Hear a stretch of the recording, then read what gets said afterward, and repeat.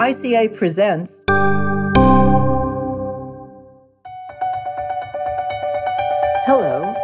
And welcome to this episode of the Architects of Communication Scholarship podcast series, a production of the ICA Podcast Network. Today, our architect is Sandra J. Ball-Rokeach. Sandra Ball-Rokeach is professor emerita at the University of Southern California Annenberg School for Communication and Journalism. Her 52 year career began as a sociologist, receiving her PhD in 1968 from the University of Washington. Sandra's research on communication phenomena drew her into the communication field in 1986. Sandra is best known for media systems dependency theory, communication infrastructure theory, and the 21 year Metamorphosis Project, in which more than 150 students were trained in multi level and multi method research. She's an ICA Fellow and has served in a number of capacities for the ICA. Today, Sandra is in conversation with Barbara Osborn. When this interview was recorded, Barbara was the Director of Communications for the Office of LA County Supervisor Sheila Kuehl. She a former collaborator with Sandra on a course at the University of Southern California called Research, Practice, and Social Change for over a decade. Here is Barbara. Sandra, it's fabulous to be able to sit down with you like this. It's wonderful to sit down with you, Barbara. It makes me very happy to see you recognized in this way. I wanted to start this morning with your early training. What were the things going on in the world that were shaping your choices about where you would put your scholarly energies? Well, there was a lot going on, of course, in the 1960s period with the Vietnamese War, the Civil Rights Movement, and so on. But what was interesting is that the second wave of feminism had not developed until past my graduate school days. When I entered graduate school at the University of Washington, I really got the first taste of sexism that would endanger my career pursuit. Because I didn't have the money to pay for graduate school, I needed a fellowship. I had been guaranteed one by my professors. They said I was just a shoe in, but when the list came out of NIMH training fellows, it was all male. so I raised a ruckus I really was so angry. Finally, they let me in. I think one of the males dropped out. So I was the only female fellow. It seems to me that a theme that I expect to emerge is raising a ruckus. Clearly, as a young woman, you had that ruckus making capacity in you. Where did it come from and what was fueling it? During my childhood, I had actually become a sociologist before I knew it because I was an insider outsider. So I was always observing things at the same time that I was participating in them. I was analyzing what's going on here. For example, my early recognition of racism in the classroom. Also, my father's statement that I would make a good secretary. and a sweet little wife of a, maybe a minister. He just could not see me. My mother was the one who really supported me in my pursuits. She had a lot of gumption. That really helped me. I'm interested in why you chose sociology. Do you think it's because of that insider outsider perspective, or were there other reasons contributing to your interest in sociology? I avoided any female dominant professions like nursing or education. I thought about medical school, but then I thought, no, I want a family life. Sociology really grabbed me because it seemed to fit with the multi level way that I see the world, not just the psychology of what's happening, but also the structure underlying all of those activities. I became cognizant of how the world at societal level was putting up barriers and structures that made some people make it and other people not make it. I saw class differences in how people were treated. I saw ethnic and racial differences. I saw gender differences. One of the stories from my high school was that a close friend of mine became pregnant, and I couldn't figure out why she was called a whore. It seemed to me that the pimply young men who engage in intercourse are not in any way stigmatized, but women are, girls are. It was tragic, actually, for, for this young woman. So I had many experiences that I processed in a sociological way. It makes me so sad to think about you having a pregnant friend way back when, and how much I would like that story to seem very distant and irrelevant in this moment. And clearly, it does not. In your 20s, as a sociologist, you decide to go to the University of Washington. Give me a sense of why UW seemed like the right place to go. My undergraduate professors encouraged me to go, and three of them had gotten their PhDs from UW. So they really tried to help me connect with some of the professors there. I transferred my senior year of undergraduate to UW. I really liked the program. It was such a shock when I didn't get a fellowship, but I ended up getting one. So, you're a newly minted PhD out of University of Washington. You get this surreal opportunity to sit on the National Commission on the Causes and Prevention of Violence and served as the co-director of the Task Force on Media and Violence. You're what, 26 at this point? Are there any other women on the commission? No. On the commission staff, there was a staff of 50 people, no women except me. And on the commission itself, the commissioners, no women. You had very, very powerful lawyers on the staff that were well positioned inside government. Milton Eisenhower was wonderful. He was the first one to bring in both a social scientist and a lawyer as co directors of a task force. So I thought, oh boy, we're equals, but we're not. I have an irreverent nature, so I'm not blown over by people with high prestige and high status and high power. Therefore, I think I was able to work a path for myself to understand what was going on and how I could participate in a way that satisfied me. What political intervention did you see while on the Commission on the Causes and Prevention of Violence? Yes, it was an interesting experience because right off the bat, Drew Pearson, a very famous columnist at the time, called me a foreigner. How could I understand U.S. media because I was born in Canada? He said that I was brought in to whitewash the role of the Johnsons in their media ownership because at that time Lyndon Johnson was president president, and he and his wife owned media properties. So I started to get indirect pressure brought through the lawyer hierarchy that the White House was concerned about what we were doing. I got more and more irritated by this. My lawyer co director had told me that the phones are bugged, so I thought I would use the phone to fight back. I called up Al Bandura, very famous media effects fellow and social cognitive theory. He's amazing. I knew him from before. So I chatted and then I said, Guess what, Al? I'm getting White House pressure to rig the task force report. And if I get more pressure, I'm going to hold a press conference. He said, Go for it. It did not take very long to have proof that the phones were bugged because it came down the chain through my co director lawyer, because the lawyers were really more powerful. They said, Oh, guess what? You're going to go over to the executive office buildings and have a meeting with Joseph Califano, who was chief of staff for President Johnson. I thought, oh boy, it worked. So we trekked over there, went into the West Wing, and met with Mr. Califano.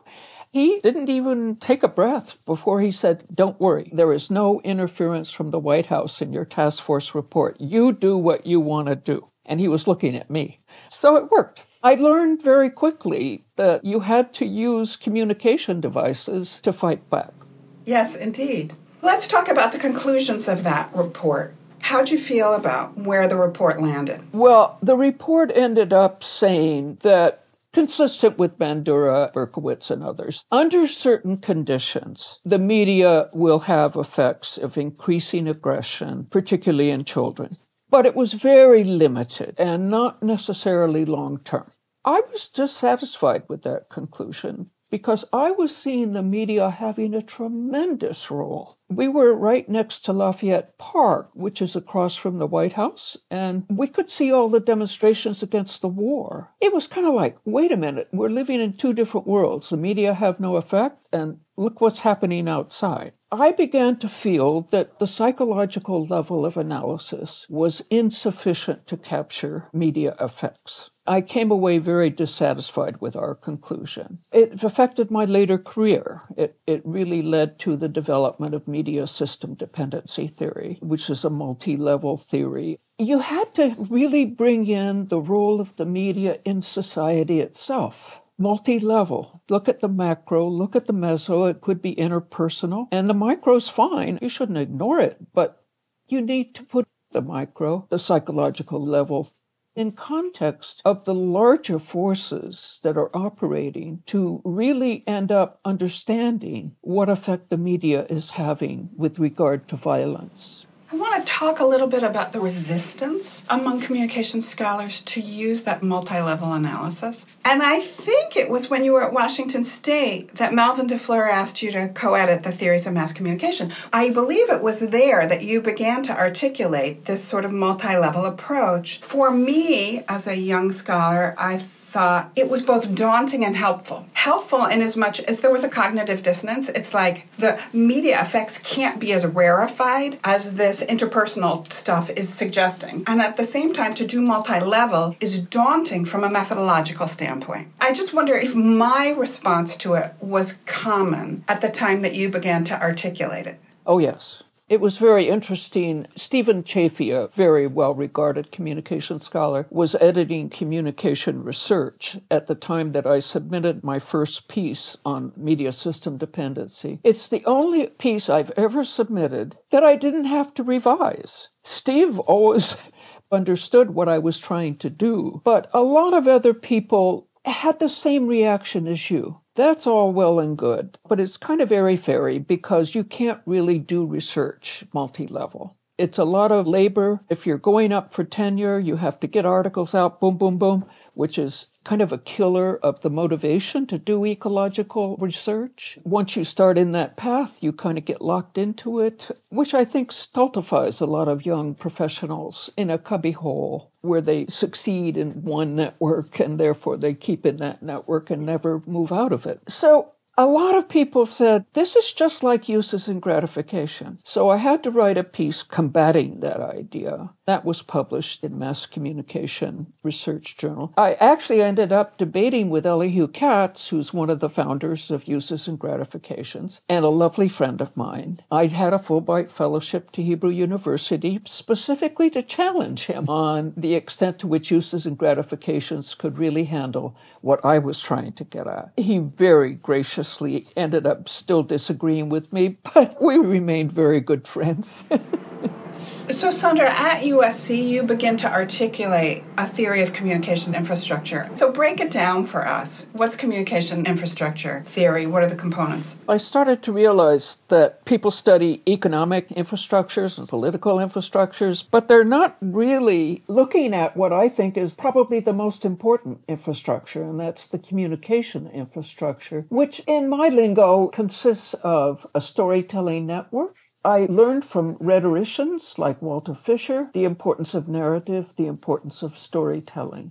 Look at the way that previous communication research has identified factor by factor that it plays a part, like in civic engagement. But they haven't looked at the dynamic that ties those parts together. That, I think, is storytelling. The three storytellers are the residents in their interpersonal networks, the local media, and community building organizations. If there's a conversation going on between those three storytellers, you've got a vibrant storytelling network. However, that network is also set in the context of its own environment, its place. And we call that the communication action context. So the communication action context has all kinds of considerations. For example, if you don't have safe streets, you're not going to be out walking. If you don't have safe parks, you're not going to congregate and meet with your fellow residents and talk. If you don't have jobs in the area, you're going to be spending a lot of time in Los Angeles driving out of your area. So you don't have time to participate in your community. So the work conditions, the conditions of safety and security, transportation is very, very important because that context either enables storytelling between those three storytellers or it hinders it. So you have to take into account the interaction of the storytelling network residents, local media, community orgs, and their conversation in context of the environment in which they operate. It's an interaction effect between those two components. I want to remind folks who are listening that you and I taught a course for a dozen or so years, and I approached the work of the course coming out of community organizing, and you came from a communication scholarship. I had an epiphany one day when you and I were talking about this because communications infrastructure theory is what I call community organizing. How do the residents in a community become informed? How do they organize? And how do they develop a sense of self efficacy? I should have credited, as I do in my writing, community organizers. Because we entered the field, we didn't go in with a preformed theory. Communication infrastructure theory came out of several years of being in the community and listening and observing. Who we were listening to the most, that seemed to resonate the most with my head, were the community organizers. They informed us on how they go about storytelling and passing the story along and having that lead to mobilization. It's just wonderful. If you want to understand a community and communication infrastructure theory, go talk to community organizers because they're the ones from whom I learned the most from our grounded inquiry into these communities. At USC, you were able to incarnate this theory in at least two projects. One was the Metamorphosis Project. What was the Metamorphosis Project and how did it evolve over the years? It became a 21 year graduate training program. It was absolutely wonderful. One of the reasons I wanted to go to Annenberg was the quality of the graduate students. We first of all tried to tackle civic engagement. So we ended up being multi method. And by multi method, I mean surveys, focus groups, content analysis, interviews, all kinds of methods in 11 major communities in Los Angeles County. What we wanted to understand was how can we assess the strength of the indigenous communication infrastructure in those 11 communities and what difference it makes for civic engagement. Does a strong storytelling network and a good communication action context provide higher levels of civic engagement? And in fact, yes, that was the case. And we've repeatedly found that. So storytelling is a very powerful force it sounds like the findings that you took from the Metamorphosis Project then led to the development of the Alhambra source. Yes, because one of the things we found in trying to understand civic engagement was that communities without local media had lower levels of civic engagement. That made sense to us from the communication infrastructure approach. You're missing one of the three critical storytellers. Local media is gone, so now you only have maybe some community building organizations and maybe you have residents talking to one another, but you don't have the local media to precipitate conversations around issues. So Michael Parks, the former editor of the LA Times, approached me and said, Sandra, I like your communication infrastructure theory. How about we get together and start a local media? I've picked out a community, Alhambra, because it's a workable size and ethnically diverse. All of the challenges are there because there are very low levels of civic engagement. Maybe if we create a local media venue, we can raise levels of civic engagement. Here was putting theory into practice big time. The Alhambra source lasted 11 or 12 years. It ended in November of 2020, but we have absolutely discernible effects on that community. It gave rise to community organizations that were seeking change in Alhambra. It put the power elite on the defensive and they would attack us. They've not been used to the transparency that we were providing. It really had effects that you could observe, like the composition of the city council changed dramatically. We worked often in coalition, like with the Alhambra Latino Association, with the Alhambra Teachers Association, and so on, to put on events we weren't just a journalism venue, we were active community member as well. I feel so privileged to have had Michael Parks as a partner who recently passed. I talked to several members of the community that were on our advisory board, and I asked, Do you think that the effects of Alhambra Source have lasted? And they said, Oh, big time. I'm interested in where you see opportunity now in communication scholarship. What work is being done now that you think is meaningful and exciting? And where would you like to see more focus on funding?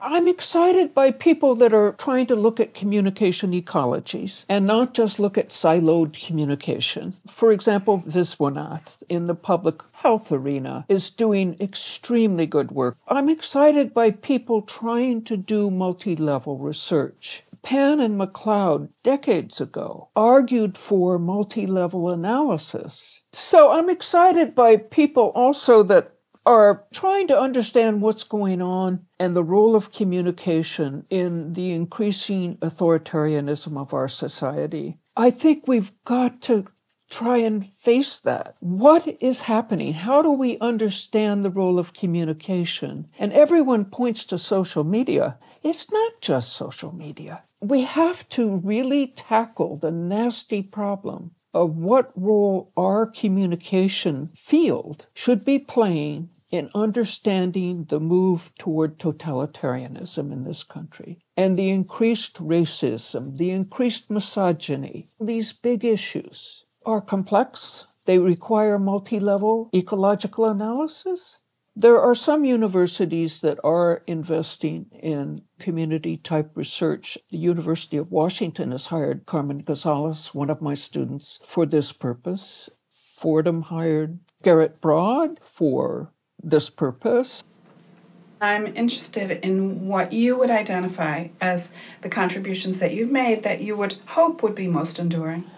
The first one is my 150 students that went through the Metamorphosis Project as graduate students that I'm so proud of. I keep in touch with many of them. I'm most proud of my mentoring, and I did receive several mentoring awards, and that was very meaningful to me because in the long run, I'm going to die one of these days. So, what is your legacy? Your legacy is really the students that you worked with to develop research and develop theory with, not as inferior. They were equals to you in the team effort. You try and really allow the student to become a creator of ideas, not just an adopter of ideas. I think that says volumes about you. and about your contribution to the field that the first and only thing you put on the list is your students. Is there anything that you'd hope to share that we haven't touched on? Yes, one thing that I would love to see communication scholars address is self censorship. My own husband, during the McCarthy era, which was really scary for academics, pulled Marx and Engels off his bookshelf. If my husband would do it, then how many other scholars would do it? Because he wasn't that kind of guy. I'm very worried that academic scholars in the classroom will begin to self censor because they're going to be challenged by people that hold, in this case, a position according to Trump. If that happens, it's disturbing and you don't know what to do with it, and then you'll begin to self censor. I think we need to start studying the role of academe in social change to what extent are we going to stop talking about our beliefs and start pulling the books off the bookshelf? Sociological work is pretty challenging to the social structure. So just doing your work the way you do it. You don't have to express your political views, just do your analysis. Well, that's a great place to end. Okay. Thank you, Barbara. This episode of Architects of Communication Scholarship podcast series is presented by the International Communication Association Podcast Network and is sponsored by the Wee Kim Wee School of Communication and Information at Nanyang Technological University in Singapore. This episode was produced by Dominic Bonelli. Our executive producer is Devonte Brown. The theme music is by Humans Win. For more information about our participants on this episode, as well as our sponsor, be sure to check the episode description. Thanks for listening.